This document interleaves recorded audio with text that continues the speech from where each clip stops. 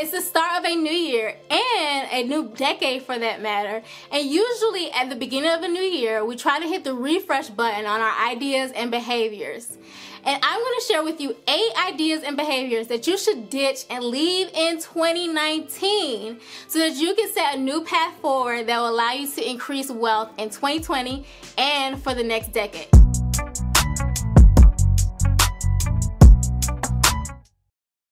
I'm Shayna of the Wealth Vibe, and I create videos to help you eliminate debt, grow income, and build wealth.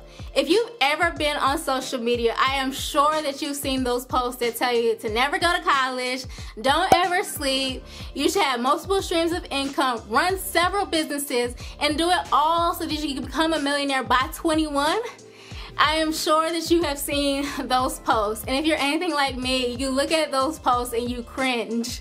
And it might even give you a little bit of anxiety because you're thinking like, where have I gone wrong with my life? Why have I fallen so far behind? And you start to think, will I ever reach my financial goals?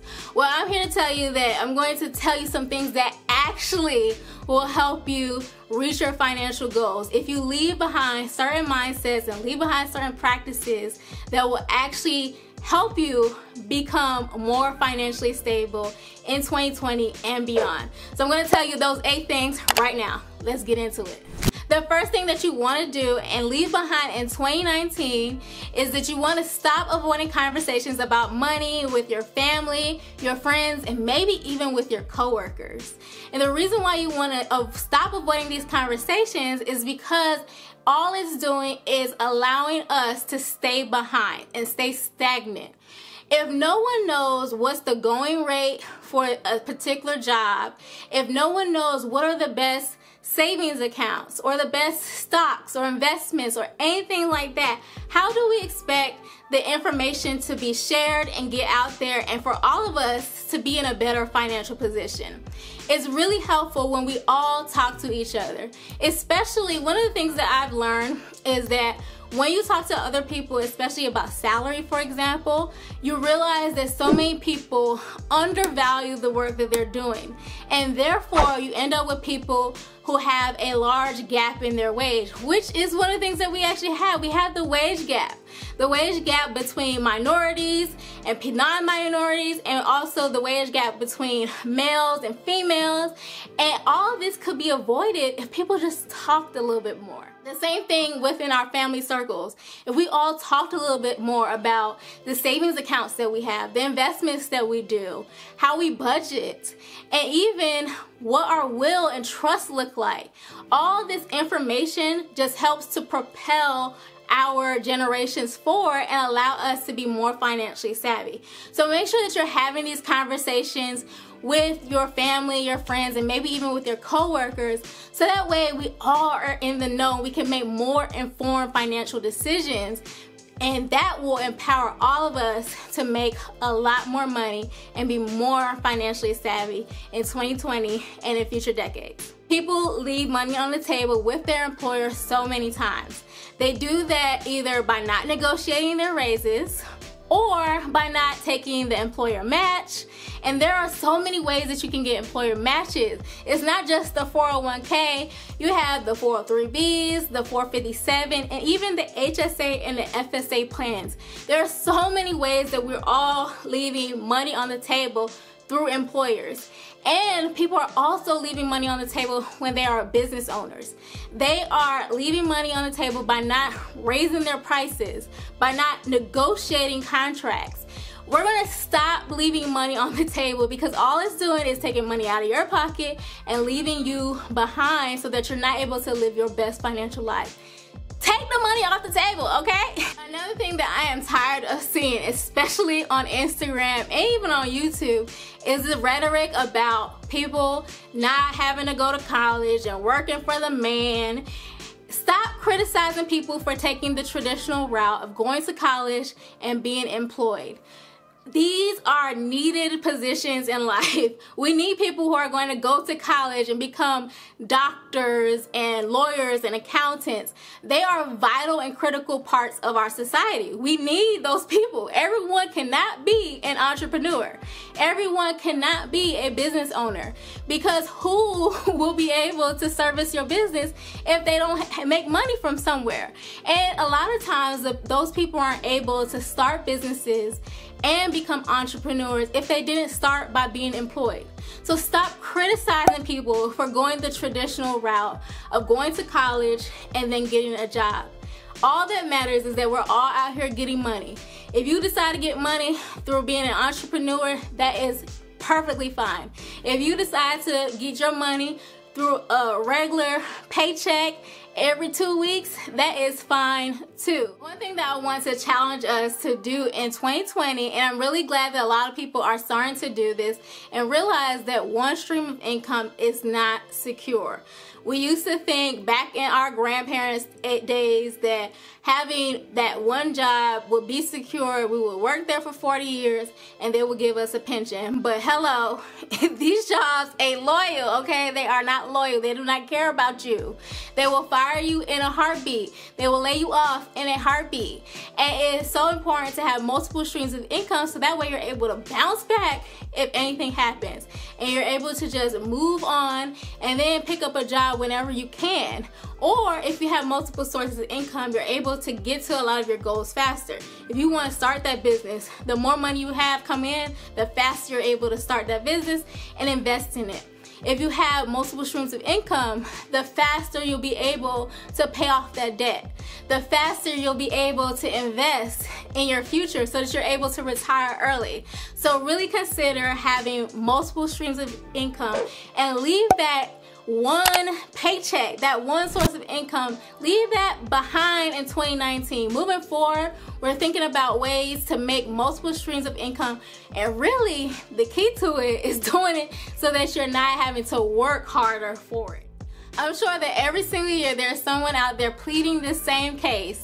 Let's leave stunting for the gram back in 2019 it is only hurting our pockets in 2020 to stunt for the gram. There's so many ways that people stunt for the gram. It's not just the typical money to your ear type of post. It's stunting going by going on trips that you can't afford, by buying clothes that you can't afford, by doing all these things that we cannot afford.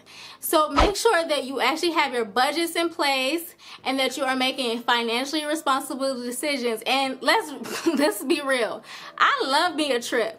But what I'm doing in 2020 is making sure that I'm using travel rewards so that I can travel the world for free, okay? So make sure that you're being savvy about how you are stunting for the gram.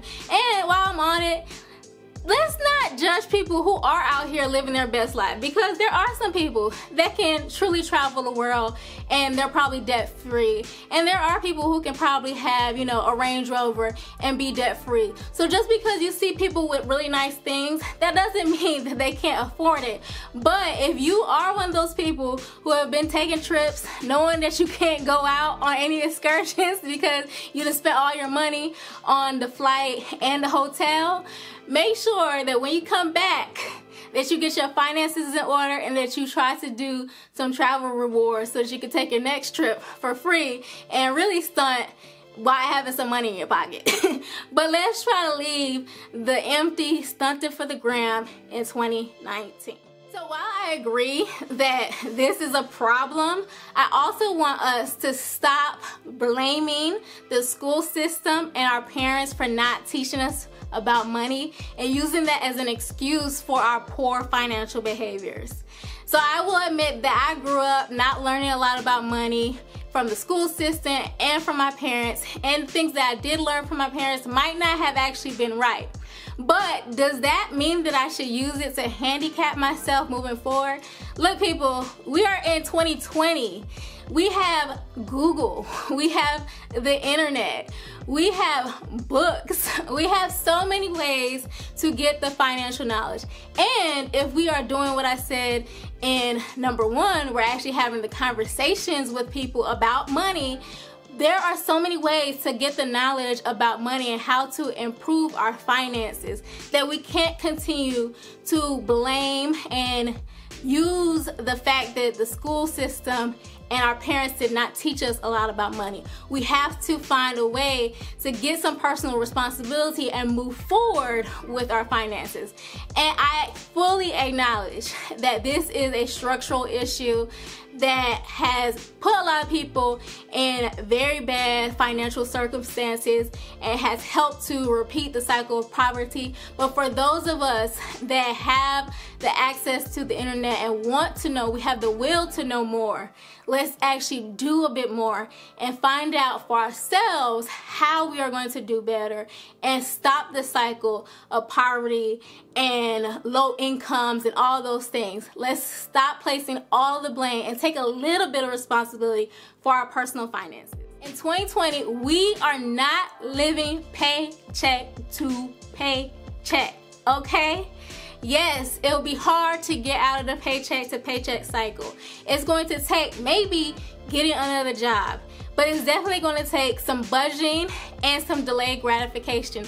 Just because we get a paycheck and we have enough money to buy something that doesn't mean that we can afford to do it because you have to get out of the paycheck to paycheck cycle and be able to start saving money and investing money so that you have a nest egg that you can rely on because what I said earlier these jobs ain't loyal, okay? And so you have to figure out a way to get out of the paycheck to paycheck cycle because it's doing us injustice. Figure out a way to get out of it. Get out of it. Leave the paycheck to paycheck behind. This is the most important one that you have to leave behind. If anything in 2019, you have to leave behind the limiting beliefs. We are not taking into 2020 the beliefs that you can't do this, you can't do that. Because I have this, I can't do that. Because I did this, I can't do that. We have seen time after time where people who have only a high school diploma or who have disabilities or who have so many limiting circumstances be able to rise above that, especially because of this digital age, and be able to become millionaires, to become billionaires, to be able to do so many things that they probably wouldn't have been able to do if you look at just the their life on paper many people will probably bet them out and say, you know, you're not going to be anything. But we see that that is not the truth. So leave those limiting beliefs behind because it's doing you a disservice. You can become anything that you want. You can make any amount of money that you want. You can do anything. You just have to figure out a way to do it. So the first step though is to think thinking about how you're going to get rid of those limiting beliefs and think that anything is achievable for you because it really is. And once you have your mindset right, that's how you're going to unlock other levels of potential. If you want to learn how to set financial goals it's going to help you to ditch these ideas and behaviors in 2019 and do things in 2020 and beyond that's going to increase your wealth, you want to check out this video right here on how to set financial goals. And I hope that you like this video and I'll see you in the next one.